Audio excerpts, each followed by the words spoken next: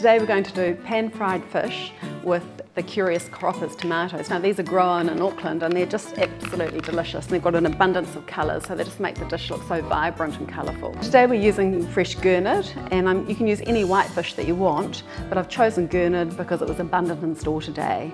We've also got the Curious Croppers tomatoes and you can see here that there's just so many beautiful tomatoes here in the colours. Each of them are adding a little bit of different flavour to the dish with the different varieties being offered.